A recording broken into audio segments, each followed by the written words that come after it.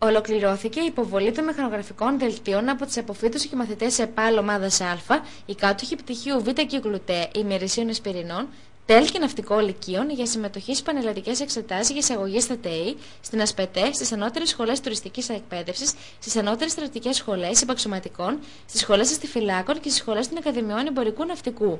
Για την Πιερία, 302 απόφοιτοι και μαθητές εκδήλωσαν ενδιαφέρον.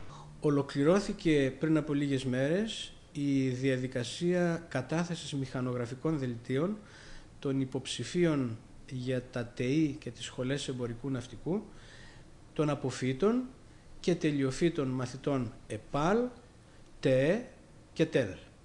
Η διαδικασία έγινε στα γραφεία του ΚΕΣΥΠ, όπως κάθε χρόνο. Υπέβαλαν μηχανογραφικά δελτία 302 συνολικά μαθητές και απόφοιτοι και η όλη διαδικασία διεξήχθηκε με μεγάλη επιτυχία. Είχαν στηθεί τρία τερματικά και δεν υπήρχε καμία μα καμία συμφόρηση στην όλη διαδικασία.